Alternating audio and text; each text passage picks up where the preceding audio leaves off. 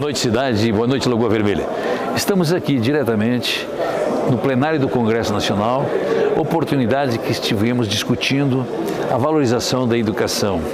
E nesse dia tivemos a felicidade de prestar uma homenagem aos 100 anos do KVG, Colégio Agrícola Visconde da Graça de Pelotas, e a Escola Técnica Federal de Pelotas, hoje Instituto Federal. É com emoção, porque eu trilhei esses dois caminhos na minha formação. E quão importante isso é para alavancar socialmente o cidadão. Esta formação me deu uma vida com dignidade, onde eu trabalho, tenho a minha família, tenho condições dignas que eu quero que todos os brasileiros tenham. Então esse é o recado que eu deixo aqui hoje, externando ao povo lagoense que nós estamos na luta e queremos compartilhar com vocês, compartilhar aquilo que é bom, aquilo que traz energia pela construção de um Brasil, um Brasil que todos nós sonhamos, ok? Esse é o meu recado de hoje, um grande abraço a todos.